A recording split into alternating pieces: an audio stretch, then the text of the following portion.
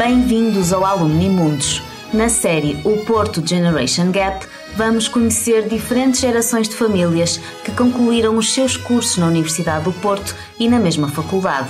São pais e filhos, avós e netos, tios e sobrinhos. Acompanhe-nos na descoberta de uma universidade multigeracional, mas que tem mantido o seu espírito genuíno ao longo dos tempos. Hoje, no Alumni Mundos, temos connosco Manuel Torres e Raquel Torres, pai e filha, alumni da Faculdade de Psicologia e Ciências da Educação da Universidade do Porto. O Manuel concluiu a licenciatura em Psicologia em 1987 e a Raquel é licenciada em Ciências da Educação e mestre em Estudos de Desenvolvimento em Ciências Sociais e Educacionais pela FEPSEUP, etapa que finalizou em 2009. O que é engraçado é que lá em casa fala tudo a mesma linguagem. Até a esposa de Manuel e a mãe da Raquel tirou Ciências da Educação, embora em locais diferentes. Mas vamos já ficar a conhecer essa história daqui a pouco. Olá Manuel, olá Raquel, bem-vindos ao Alumni Mundos, obrigada. Manuel, comece por si. Porquê a Psicologia na Universidade do Porto? Bem, honestamente eu sempre gostei de, de filosofia Mas fui sempre muito influenciado pelos meus amigos. Originalmente ia tirar engenharia, porque tinha um amigo que era fabuloso na área, depois arquitetura. Uh, estava na fila para me inscrever e pensei, mas isto não tem nada a ver comigo. Eu, eu gosto mesmo é do pensamento e, uh, e por aí fora. E, e, portanto pensei, vou para a filosofia. Felizmente a fila não andou muito depressa e eu tive tempo para refletir um bocadinho mais. e depois pensei, alto, isto de facto, quer dizer, limita-me a dar aulas e pouco mais. E eu quero é, perseguir o meu principal valor de vida, que é ajudar os outros. E nesse sentido, obviamente, alguns entre esse valor e a filosofia estava a psicologia. E, portanto, foi isso que eu fiz.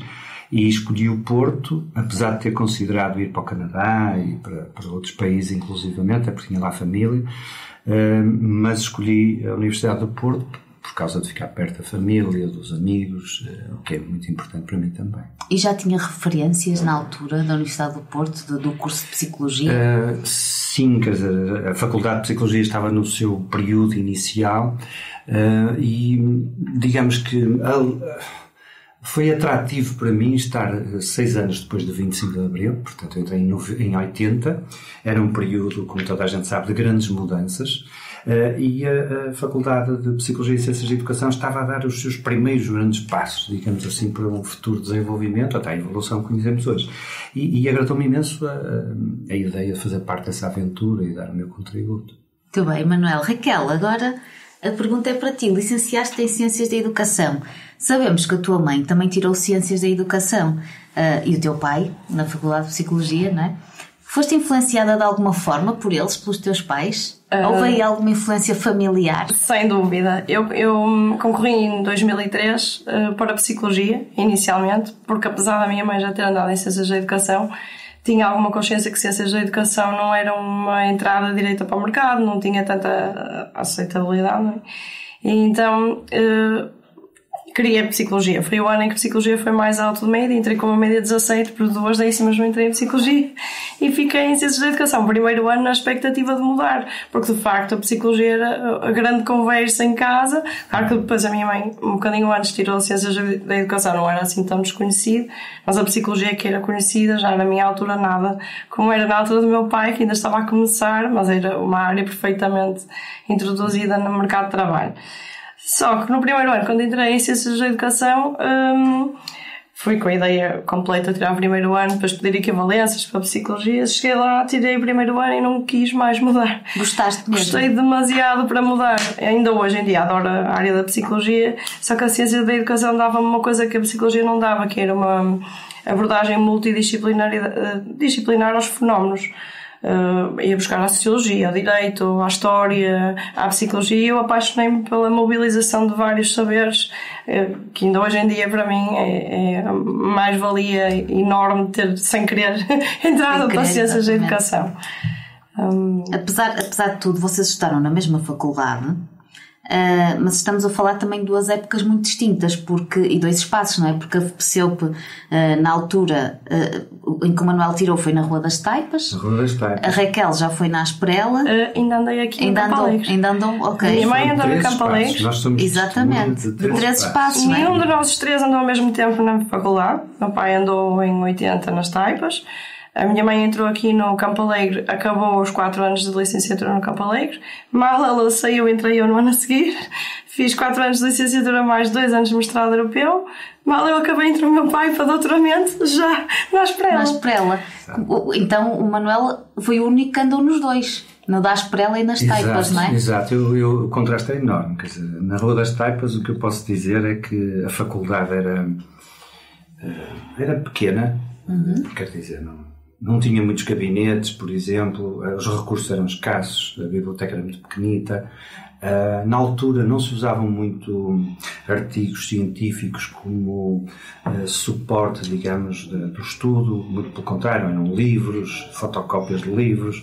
Um, e portanto nós tínhamos, eu diria, um ambiente familiar por um lado uh, e que ao mesmo tempo com poucos recursos nos estimulava a termos que, passo a expressão, nos desenrascar, não é? que é, é muito típico dos portugueses. Eu acho que isso foi importantíssimo na, na, na minha formação. Mais tarde, quando chego uh, ao Paulo da Asperela, uh, para fazer o doutoramento em Ciências da Educação, literalmente 20, 25 ou 27 anos mais tarde, Uh, o cenário é completamente diferente. Quer dizer, há, há muitos gabinetes, há muitos professores, há, há, muitas áreas diferenciadas, tanto na psicologia e até nas ciências de educação. Uh, há muitos recursos uh, de investigação, enfim, e quer dizer, eu entro num mundo completamente diferente. devo dizer que a minha filha teve um papel muito importante no, que disse, no que diz respeito a impulsionar-me ao nível da investigação, uhum. porque isso era uma coisa que não fazia muito parte do horizonte uh, da Faculdade de Psicologia uh, e Ciências de Educação, embora houvesse quem fizesse investigação, era muito incipiente na altura, e eu recordo só tínhamos um computador que não estava na faculdade, sim. estava fora e, e, era por cartões, e era sim, uma tortura usá-lo, portanto, quer dizer, aquilo era de facto, uh, eu diria quase a pré-história é, do, do, que é hoje a psicologia. Um, pronto, e depois o doutoramento em Ciências de Educação foi muito motivado naturalmente pela Raquel, pela, Raquel, uhum. pela minha esposa, porque, como disse a Raquel lá em casa, falava-se muito de psicologia, de repente passou-se a falar muito de educação, não é? E isso contagiou-me e pronto, eu avancei para um doutoramento, até porque também tive uma vertente muito ligada à formação pedagógica, de formadores e de professores, etc. E, portanto, isso era uma das vertentes profissionais que eu tinha vindo a desenvolver e que, e que tive interesse e curiosidade de evoluir em termos de conhecimento e, portanto, de investigação vocês acabam por ter conversas sobre a faculdade em casa, não é? Até mesmo pelas diferenças que havia, não é? Porque um, um, um, foi no Campo Alegre, outro foi nas Taipas, outro foi na Esprela, mas depois, entanto, o Manuel também teve a oportunidade de estar na Esprela. Portanto, acabam por falar, e no meu tempo não era nada assim, não é? Acabam por ter esse tipo de conversas. Eu confesso que hum, falo muitas vezes de que os dois primeiros anos aqui no Campo Alegre foram para mim, apesar dos recursos serem mais limitados, espaços uhum. não serem tão apropriados, para mim foram muito melhores do que na Esprela, porque faz falta o espaço verde de convívio, ou as relações sociais mudaram completamente, como Sim. eu apanhei mesmo no meio do curso, as amizades, não é? Aquilo é assim, oh, uma pessoa anda assim às voltas e não se cruza, não há um um espaço um de convívio. Uhum. Aqui havia mais troca, mais trabalho em equipa, eh, menos recursos, claro, não é? menos espaços, espaços muito apertadinhos, mas nesse aspecto era mais rico do que as, as faculdades do agora. Eu costumo falar muito disso lá em casa, porque foi um choque muito grande para mim, de um ano para o outro, completamente Passar mudado. Do Campo Alegre claro. para cá. Eu diria que, além do falar, há uma certa cumplicidade. Um quer na, na, absorção de novo conhecimento, quer dizer, quando qualquer um de nós apanha uma notícia científica sobre psicologia, ciências de educação, ciências sociais, etc., uh, imediatamente participa com os outros. E, quer dizer, e esta interação é tão forte que, por exemplo, como aqui com a Raquel, com a minha filha, já, já publicámos juntos, não é? Isso é uma coisa fabulosa. Nunca pensei que isso acontecesse e tenho um imenso orgulho em, em, em, ter a filha que tenho. Tem imensas competências. Eu diria que ela sai à mãe porque escreve muitíssimo bem, escreve melhor do que eu. Uhum. Uh, uh, acho que sai um bocadinho ao pai também de outras coisas, não é? Também a capacidade temos, de se temos expressar. aqui um pai babado. sim, sim, também tenho muito orgulho no meu pai, atenção. Vocês, vocês sentem que a vossa formação foi diferente? Uh, Raquel, achas que a tua formação foi diferente do teu pai? Uh, sim, nós, nós, eu venho do início da geração millennial, por isso apanho uma série de mudanças. Apanho aulas com stats e aulas com PowerPoint, apanho a inexistência de computadores e de repente já existe computadores, não é? Pronto. Um, acho que é bastante diferente no sentido em que mantém a linha do desenrasca, que o meu pai há bocado falou, não é? Às vezes lançávamos um desafio e nós tínhamos mesmo que nos desenrascar e, também faz parte da aprendizagem e da preparação para o mercado de trabalho, isso é ótimo, uh, de todo um problema para mim. Uh, mas acho que de facto nós tínhamos uma vá lá, uma incitação à, à, pesquisa e também muito mais recursos que se calhar na altura do meu pai não era tão fácil, não é? A dada altura apareceu a internet, nós podíamos ir buscar um mundo de informação que nem havia na faculdade, a dada altura, por isso é, é, completamente diferente em termos de espaço para a investigação, até, não é? Porque a uhum. investigação estava em silos muito fechados, só com quem tinha acesso aos recursos, e agora, hoje em dia, já não é assim tão difícil uma pessoa que anda numa faculdade conseguir ter acesso Sim. a um mundo de coisas. A internet abriu, abriu, portas e janelas, não é? Sim, para, exatamente. para o mundo é, inteiro. E os recursos da Universidade do Porto são incríveis. Eh, eu já andei em outras universidades e, e o acesso à investigação científica, a base de dados da Universidade do Porto está muito bem trabalhada, pelo menos a minha altura, comparativamente com outras. Gostei bastante. É, nós estamos anos luz daquilo que, que, que eu testemunhei nos anos 80. Um, vários aspectos. Um deles, por exemplo, nós não tínhamos materiais pedagógicos de apoio nenhum. É? As pessoas uh, faziam sumários, punham uma bibliografia e os alunos que consultar, não é? literalmente, portanto, e Sim. que fizessem os resumos e que organizassem os seus materiais de estudo, etc. Bom, isso fez com que eu, eu sempre fui muito organizado e, e a uma certa altura, com um colega de curso, Henrique Muga, com quem ainda hoje me dou muitíssimo bem, somos muito amigos, uh, os dois juntos organizámos sebentas para o curso todo, para os 5 anos de Psicologia. Portanto, eu devo dizer que sei lá, pá, 15 anos mais tarde, ainda ouvia pessoas dizerem que estavam a fazer determinadas eh, disciplinas com os meus apontamentos. Que engraçado. Portanto, e claro que isso nos obrigou eh, a desenvolver competências que ainda hoje são extremamente úteis, não é? Quer dizer, pegarem não sei quantas fontes de informação e uh, resumir aquilo, sintetizar de uma forma sem redundâncias e muito estruturada, etc. É? Portanto, esse trabalho com, com o conhecimento, com a informação e transformá-la em conhecimento foi qualquer coisa que, lá está, era isto que eu queria dizer com o desenrasca, não é? Quer dizer, a falta de recursos obrigou-nos a desenvolver competências que ainda hoje são, são extremamente importantes. Depois havia outras coisas caricatas, por exemplo, eh, eu tive uma média elevada, tive o prémio da Fundação Engenheiro António de Almeida, uhum. na classificação em Psicologia, e, e, na altura, eh, quer dizer, tinha um papel, como é que eu ia dizer, tinha a minha vida extremamente dificultada porque quase todas as minhas notas eram acima de 15. Uhum. E o problema é que não nos davam essas notas, ou seja, na, na pauta aparecia-me um B. Todas as notas acima de 15 eram transformadas num B de pauta e eu depois era obrigado a ir a uma oral demonstrar que tinha é efetivamente eh, conhecimentos compatíveis com o 16, o 17 ou o 18. Ora, eu cheguei ao meu terceiro ano e fiz um abaixo assinado, não é, com todos os alunos, eh, essencialmente questionando, quer dizer, das duas uma, ou era um vigarista profissional, porque tinha Beza quase tudo, não é, quer dizer, ou então o sistema estava arcaico, e era obsoleto e era demasiado pesado para quem estava a querer estudar para outros exames e de repente tinha que fazer uma oral de um exame que já tinha tido 18. Isto não tinha anexo, não é? Eh, era talvez um peso excessivo da, avaliação e, portanto, estávamos num período de mudanças, não é? Logo a seguir ao 25 de Abril e, portanto, nós impusemos essa mudança e eu acho que isso, que isso foi particularmente importante.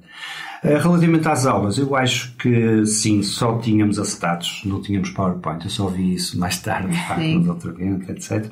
Mas hum, tínhamos também uma perspectiva talvez de muita utilização de método expositivo, Uh, que eu noto que ainda hoje existe. Aliás, a minha tese é sobre os modos de trabalho pedagógico e de avaliação da aprendizagem no ensino superior. É um estudo feito aqui uhum. na Universidade do Porto e que compara métodos tradicionais com a aprendizagem ativa, etc. É? Portanto, de facto, hoje em dia temos um bocadinho mais oportunidades a esse nível e eu acho que a faculdade cresceu naturalmente e, e evoluiu. Uh, e talvez seja um dos bons exemplos onde há passos interessantes em termos de desenvolvimento da pedagogia que é praticada. Okay. Sim, subscrevo totalmente. Já tive cursos noutras áreas que não estimulam o pensamento crítico, bem pelo contrário, até exigem alguma uh, reprodução uhum. exata daquilo que o método expositivo uh, nos indica e a Faculdade de Psicologia e as Ciências da Educação uh, para mim dão esse input bastante positivo de pensamento, pensamento crítico, processo científico para descobrir coisas, ajuda imenso para quem está a trabalhar em inovação, para quem é empreendedor, ser organizado, ser, mas também saber alargar e olhar afastado do problema certo. para ser um bocadinho mais crítico. Noto que faz uma grande diferença uh, aquela faculdade ministrar desta maneira pelo menos ah, no meu tempo, era quase tudo até exames. Tínhamos muitos exames de consulta, Sim. levávamos as capas e para depois darmos a nossa perspectiva sobre a matéria, não ser. Uh, tudo muito, muito exato, não é? Uh, vocês chegaram a partilhar professores? Tiveram ou não? Eu tive alunos do meu pai que foram professores. Engraçadíssimo. Bem, eu também tive, tive uma professora, pelo menos, que foi minha aluna no primeiro ano da faculdade. Por exemplo, em relação à academia e às festas académicas, a essa vivência, uhum. O Manuel não tinha tanto isso na altura. Não, e até devo dizer mais, quer dizer, eu recusei, eh, foi talvez um dos maiores desgostos da minha falecida avó, ela queria-me oferecer a capa. Ah, o traje. o traje académico, exatamente, e eu recusei liminarmente. Quer dizer, eu fiz anos, o gostinho. Meia anos depois do 25 de Abril era quase reacionário vestirmos dessa forma e, e, eu não, não, não participava, nem sequer do cortejo, nem nada. Recordo-me que a Fernanda estava a fazer jornalismo na altura a minha futura esposa, não é? era namorada na altura, e obrigou-me a ir porque tinha que fazer uma reportagem sobre o cortejo. Certo. Depois ficou muito aborrecida porque as minhas colegas puxaram-me para, para a caminhonete e nunca mais me deixaram sair daí. e foi perdeu talvez a, a única vez, a a única vez que eu fiz o cortejo, é curioso. Mas realmente, mas havia essa vivência académica ou não? Não se lembra de, por exemplo, irem até ao café? Com... Eu, sei, eu sei que era um, é um bocadinho diferente, não é? Porque acho que agora no, na, na época da Raquel uma, já havia outra vivência, não é? Hum, eu gostei muito do, enfim, de todos os recursos da faculdade e isso até obriga uma certa reconversão, eh, ou digamos, evolução de competências para lidar com o EndNote, com o SPSS, com o EndVivo, uhum. enfim, fazer pesquisas online, tudo isso. Eu acho que a minha geração tinha um certo naturalmente um certo gap, é? que tive que aprender a colmatar. Agora, eu, gostando muito do ambiente atual da, da Faculdade de Psicologia e Ciências de Educação e de todos os seus recursos, eh, etc., na realidade nunca prescindiria uh, o, a aventura que vivi na minha juventude, porque foi um momento muito particular. Acho que isso me marcou, o ter vivido o 25 de Abril, a transformação profunda da sociedade, de uma forma pacífica, mas muito rápida, muito abrupta, não é? Um, abrindo novos caminhos à, à, evolução socioeconómica, ao mesmo tempo que uh, estava numa área científica que se estava a afirmar e que era particularmente importante para as pessoas. Quer dizer, o que eu noto em relação ao que perguntou é que a camaradagem era muito forte. Quer dizer, nós uh, sentíamos, todos estávamos ainda numa instituição muito jovem, uh, que havia tudo por fazer Uh, e, portanto, a união entre nós era calhar, muito é? grande é? mesmo, muito grande. Uhum. Superava diferenças e, e gostos e opiniões, etc. Quer dizer, havia uma dialética grande, cada pessoa tinha a sua perspectiva, mas funcionávamos todos muito bem e tínhamos, tínhamos mesmo que o fazer, porque, por exemplo, tínhamos que fazer fotocópias para poder estudar, quer dizer, os alunos tinham que fazer muita coisa, não é? Uh, digamos, a papinha não estava feita. E nesse aspecto, acho que a nossa geração foi bafejada de sorte. A Raquel queixou-se disso, não é? Há bocado que não havia esse tal tanto espírito. Sim, eu, a minha, a minha experiência em termos de atividades extracurriculares, vamos por assim, um, achei que na Faculdade de Psicologia, não sei se porquê, uh, a camaradagem não, não estava lá muito. Desapareciam subentas na altura que íamos estudar para os exames, diziam que tinham alterado a, data do exame e não tinham nada. Okay. Pronto, completamente ao oposto da experiência do meu pai o que eu fiz foi um, participar em atividades noutras faculdades, não só na Faculdade de Psicologia, eram mundos completamente diferentes. Por exemplo, tinha amigos na FEUP, tinha amigos em Direito, tinha amigos uh, em várias, aqui em Letras, por isso gozei um bocadinho o ambiente da Faculdade de Psicologia naquilo que eu achei que uhum. seria uma, uma, boa, boa hipótese e outras praxes e tudo, cheguei até ir para a FEUP uhum. para festas na FEUP, para festas em letras, porque era outro ambiente diferente, claro. está. Eu não estava muito, estudava muito na FEUP, também meu pai já lá era professor, não é normal. A FEUP também era maior de psicologia quando abriu naves para ele, ainda não tinha Sim. tudo preparado, então eu habituei-me a ir um bocado para a FEUP. E hum, na FEUP, sim, sentia mais camaradagem uh, entre os alunos e também aí era capaz de ser um ambiente um bocadinho mais lá, simpático. Em psicologia havia mais assim, competitividade. É, sim, muito calhar. mais competitividade. Muito mais acho que a cooperação se foi transformada em competi- competitividade. Competitividade. Especialmente por causa da, da questão da transição entre o mundo académico e profissional, é? mudou muito. Sim. Eu diria que nos anos 80 os psicólogos eram altamente necessários eh, e às vezes isso até representava uma certa retribuição interessante nas empresas e tudo, não é? Porque havia poucos e havia muita necessidade no mercado. Eu nunca mais me hei de esquecer que um dia fui com a minha filha aqui à- ao Campo Alegre. Estava ela a pensar em que área havia de entrar, etc. E eu fui lá falar com uma antiga professora minha, que eu considerava bastante. Na altura pedi-lhe, olha, traga aqui a minha filha, toda entusiasmada, não é? Para seguir as pisadas de pai, não sei o quê. Ela gosta muito. O que é que tu achas? E ela, no átrio da faculdade, só Firmino, por amor de Deus, tu leva, leva a tua filha embora daqui. Eh, toda vez que há psicólogos aos pontapés por todo o lado, a empregabilidade é quase eh, nula, quer dizer, estamos a chegar a um ponto de saturação do mercado que eh, vais entregar a tua filha, enfim, é uma, uma aventura muito complicada, não é? Se calhar é preferível escolher outra coisa qualquer. Eu saí de lá de rastos, Claro, literalmente de imagino. Quer dizer, não imaginava eh, ter um feedback desses. Eh, a Raquel é persistente e, e ainda bem, porque acho que mesmo assim, enfrentando essas dificuldades, eh, Sim, quando uma pessoa gosta, investiu não é? Nas ciências Sim. de educação e pronto, interagimos muito e, ainda hoje temos coisas pendentes juntos, um artigo para publicar, etc. Isso, Isso é ótimo. muito bom. E não acha que, apesar de tudo, Manuel, eh, esta, esta, apesar de ter havido essa fase, se calhar, em que a psicologia foi um bocadinho negligenciada, em que houve até muito mais oferta do que procura, não acha que atualmente isso está-se a reverter um bocadinho? Eh, que os psicólogos estão cada vez mais a ser mais necessários e que, e que esse papel que se calhar tinham nos anos 80, Sim, como o Manuel sim, disse, sim. está outra vez a adquirir mais Sim, relevância? Sinto que sim. Eh, aliás, eu se calhar contava uma história engraçada sobre isso, ehm, que, que para mim me marcou bastante. Eu, eh, quando tirei Psicologia, recordo-me que em 80 e tal eu dizia às pessoas que era psicóloga, as pessoas davam um passo atrás. Ficavam a olhar para mim assim, apreensivas, como quem diz é psicólogo, valha-me Deus, vai-me ler a, A a personalidade, etc. Exato. Eh, e portanto havia uma resistência muito grande eh, ao psicólogo. Quem ia ao psicólogo era quem tinha perturbações mentais, portanto havia ali uma conotação extremamente negativa para a psicologia. Se, eu, se é uma das coisas que eu, que eu me sinto orgulhoso foi de ter contribuído, pelo menos um bocadinho, para a institucionalização da psicologia e das ciências de educação em Portugal.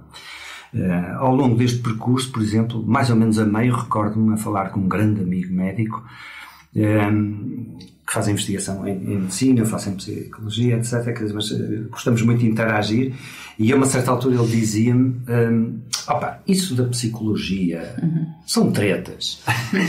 isso vai tudo desaparecer um dia que a biologia se desenvolva a sério. Porque a biologia vai explicar tudo. Não é?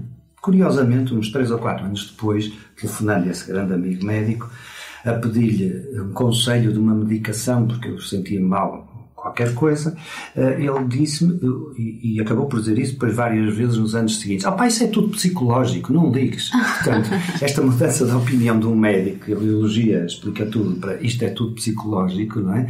Foi muito significativa. Mas eu devo dizer que me enche de felicidade ter contribuído, quer dizer, dava um certo descanso, uma certa tranquilidade, perceber que foi uma missão cumprida e que, que isso foi, foi importante. Importante, muito bem. Ah, o que é que. Primeiro, antes de passar a esta questão, gostava de, de- de vos perguntar. ah, eu acho que não, por aquilo que o Manuel disse há pouco, mas gostavam de trocar de épocas. O Manuel gostava de, de poder ter estudado na época da Raquel e a Raquel gostava de ter. Eu só diria que gostava de ter os recursos eh, da época da Raquel, eh, vivendo na época que eu vivi. Pois, porque Sim. o Manuel não trocava a sua vivência por nada. Não trocava de modo nenhum. não. Eu confesso que trocava, hum, lá está, a camaradagem, que eu até considero, além da questão do mercado de trabalho, da colocação no mercado de trabalho, eh, também tem muito a ver com a competitividade em que nos eh, sujeitam no 12 ano, na entrada da faculdade. Nós vimos todos formatados para tirar as melhores notas, porque caso contrário não entramos. E naquele ano em específico as notas eram elevadíssimas, tanto para ciências da educação como para a psicologia, portanto o mindset era de competitividade pura e dura, não havia ninguém a passar um sumário se chegasse tarde, era um bocadinho complicado. Talvez a única coisa que eu não tenha gostado tanto, não quer dizer que toda a gente fosse assim, claro, claro. havia imensas exceções, mas assim de uma maneira geral era a única coisa que eu preferiria a geração do meu pai à minha. Acho que nós agora estamos mesmo muito formatados para competir, competir, competir desde muito cedo. Eu tenho um filho pequeno e, e tenho Isso alguma bem. noção de que ainda assim, ainda hoje em dia no primeiro ciclo, continuam a insistir com a competição Sim. em vez da cooperação, o que eu acho um extremo erro, porque hum, tirei mestrado europeu, tive professores lá de fora e a cooperação dá muito mais frutos do que a competição, é? na maioria dos casos. A competição devia ser mais pontual do que propriamente o plano do dia. Mas infelizmente ainda acho que Há temos um bocadinho não é? sim, para, social, para evoluir. Para não me pareceu que os professores lá fora, os alemães, os belgas, eh, fossem assim. A Faculdade de Psicologia ministrava um, um, um mestrado tradicional em que era um consórcio de 14 faculdades diferentes. Os professores vinham à Faculdade de Psicologia X em X tempo, várias faculdades diferentes, dar-nos aulas. E era uma experiência engraçadíssima porque os professores tinham uma mentalidade Sim. bastante diferente. É, mas é isso, acho que é uma questão de mentalidade, não é? Também. É. Sim, um bocadinho. Lá era mais fácil dar em 20 sem haver orais ou questões ou nada. Hoje em dia, ainda assim, dar um 20 cá em Portugal, em algumas áreas, é complicado. Complicado, sim. Uh, o, que é que, o que é que a geração do Manuel deixou para a geração da Raquel? Além das sebentas. Além das sebentas. Hum, eu, eu penso que deixou, sobretudo, a coragem de desbravar. Uh, áreas eh, ainda. Quer dizer, há, há, uma diferença muito grande. Eh, a minha formação foi uma formação muito generalista, não é? Quer dizer, na altura era muito importante estudar Piaget, estudar Freud, estudar, enfim, os grandes nomes da psicologia, não é? Hoje em dia, quando se faz uma, por exemplo, quando orienta uma dissertação de mestrado, doutoramento, o quê, quer dizer, a, a revisão da literatura baseia-se em uh, 5 anos para trás, 10 anos, e, em áreas, e particularmente em, em, produção ou publicações muito específicas, portanto, artigos científicos uhum. especificamente sobre o, o, tema em questão, sobre o objeto de estudo, etc.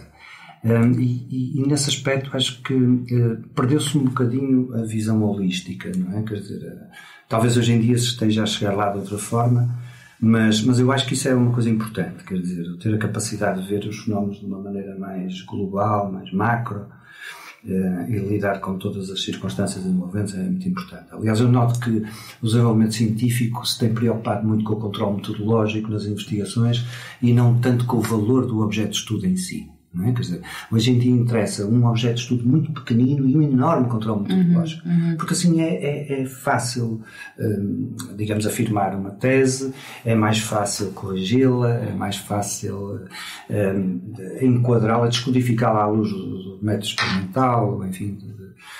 E, portanto, hum, afastamos-nos um bocadinho disso. No entanto, hoje já há exemplos muito engraçados. Por exemplo, já, já há teses sobre teses, ultimamente, uhum, para tentar sim. reunir áreas de, de, conhecimento que andam um pouco espartilhadas por aí, não é? Portanto, isso eu diria talvez a, a maior influência. E acho também que o que a Raquel fala, uma cooperação grande, eh, quase um ambiente familiar entre as pessoas, quer dizer, eh, sem barreiras, sem grandes eh, onde, francamente, a competição, não vou dizer que não existia, claro que sim. Aliás, o meu ano foi um ano bafejado de bons alunos. Um, e eu mas tinha sempre uma competição muito perto mais saudável, mim. Não? Sim, sim, quer dizer, era importante. Eu via a minha nota, mas também via logo a de meia dúzia de, de colegas que também eram bons e que tinham, tinham excelentes desempenhos. Eh, e reconhecíamos uns aos outros, entre ajudávamos, não havia. Certo. Pronto, naturalmente havia um ou outro com feitio mais individualista, mas de facto não era, não era a forma de estar, a atitude das pessoas em geral. Eu acho que isso talvez tenha passado um bocadinho Sim. para as gerações tenha-se perdido pelo impacto da, da, das tendências da sociedade, mas, mas acho que isso foram contributos que a minha geração deu. Raquel, o que, é que achas que deixaste para as gerações futuras?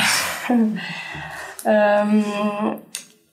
só para concluir um bocadinho atrás do ponto do meu pai, uhum. eu concordo plenamente que a nossa geração tem um bocadinho mais dificuldade em cooperação, tendo em conta o percurso que tem para trás, mas os professores da faculdade, que são colegas do meu pai, não é? Da altura que eles tiraram, são bastante uh, vá, acessíveis, e muito bom de trabalhar com eles pela acessibilidade e cooperação que conseguem ter com os seus estudantes. Acho que é um, ponto diferente daquela faculdade, de facto, os professores são acessíveis, não há dificuldade maior de um aluno tentar chegar a um professor e tirar uma dúvida, enquanto que nem sempre é assim o cenário em todo o lado. Por isso, quando eu falo de competitividade entre os alunos, não uma competitividade na faculdade toda. Em relação àquilo que hum, eu acho que eu gostaria de pensar que a minha uh, geração deixou para o resto das gerações é exatamente o, o movimento que o meu pai estava a falar, que é eh, quando eu entrei para a faculdade era uma hiper especialização enorme em determinados assuntos, microassuntos. Uh, na altura que eu entrei havia uma, uma necessidade grande de afastar, ter um pensamento mais holístico, ter uma introdução multidisciplinar aos fenómenos, ou seja, em vez de estudar uma coisinha muito pequenina com uns vetores muito específicos, uh, tentava-se ir buscar várias perspectivas para ir estudando um fenómeno mais abrangente que de facto tem uma, um valor diferente em termos de produção científica.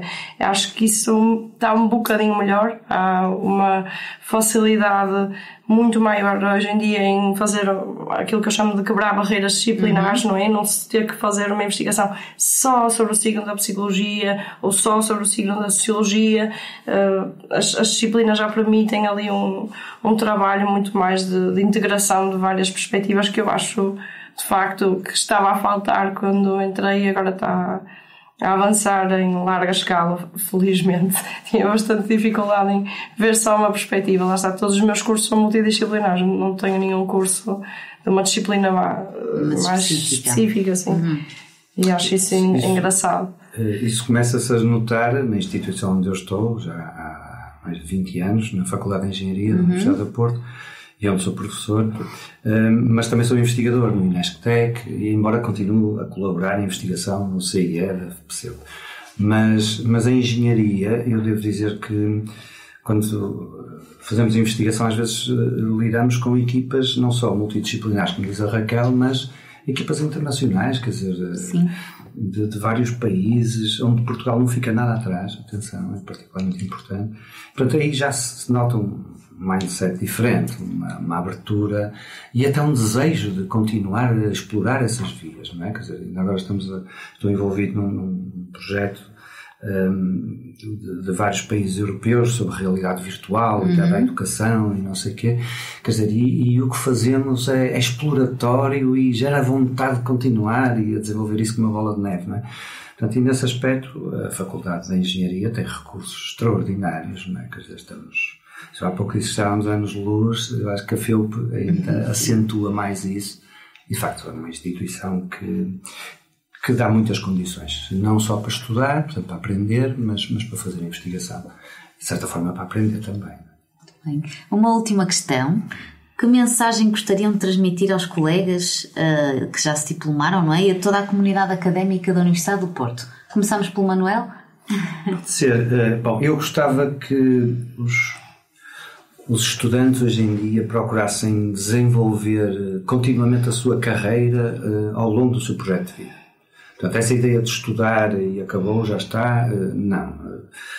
Aliás, quer dizer, hoje em dia mostra-se facilmente na psicologia e nas neurociências que o cérebro evolui uh, e pode aprender até morrer. Portanto, e hoje a ciência está constantemente a produzir novo conhecimento. Portanto, este é, é um desafio e este é um desafio que deve, deve ser tomado para toda a vida, em primeiro lugar. Segundo, acho que se devem conciliar três variáveis que são muito típicas na orientação uh, vocacional. As pessoas devem conciliar bem o que querem, o que podem fazer e o que existe no mercado.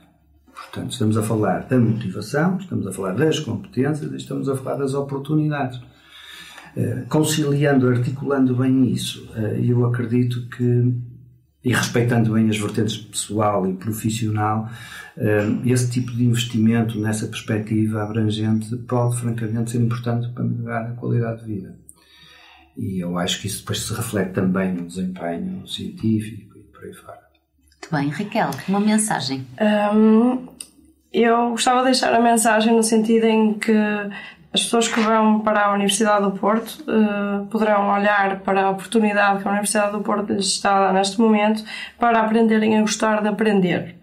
Digo isto porque tem um papel crucial para mim a multidisciplinaridade por causa disto, porque ao ir para um curso que não é de uma só disciplina, facilita-me ir tirar cursos na área de Direito, na área de Medicina, na área de Engenharia, não, não tenho muita limitação em termos de ideia do que é que eu posso aprender. E isto facilita-me imenso a minha carreira porque já trabalhei na área de Direito com, com delinquentes, já trabalhei, agora trabalho no marketing, não tem nada a ver, no mercado digital, em turismo. Um, ou seja, a capacidade de aprender vai dar uma. O gostar de aprender, nem é a capacidade de aprender, que essa toda a gente tem, felizmente. Agora, o gostarmos de aprender novos saberes e não termos receio de que não é a nossa área e de que não vamos compreender ultrapassarmos isso tudo e conseguimos sair da faculdade com uma noção de que gostamos mesmo de aprender, vai nos ter uma curiosidade ao longo da vida em que nos vai fazer adaptar a qualquer circunstância e ser bem sucedido em qualquer circunstância. Porque não há aquela coisa de partido, ah, isso não é minha área, eu não percebo nada disso. Não. Vamos perceber, vamos aprender, vamos conhecer, vamos fazer mais, melhor, desenvolver, como o meu pai disse no início. Ser evolui ao longo da vida, portanto, para que acabar a faculdade e dizer, pronto, já está, vou só ler um textinho, um artigozinho de vez em quando para refrescar coisas novas. Não, deve-se desafiar constantemente uh, aquilo que se sabe é para aí meter novas coisas para se conseguir inovar, chegar mais longe e ter mais sucesso. É? Pois eu gostava de concluir, conforme está a minha filha a dizer, apaixonem-se. Apaixonem-se pelo que fazem, porque quem corre por gosto não cansa e isso alimenta, uh, enfim, a nossa vontade de aprender ao longo de toda a vida. Muito bem. Muito obrigada, Manuel. Muito obrigada, Raquel. Obrigado quanto, nós. Quanto a nós, vemo-nos no próximo Alumni Montes. Até lá.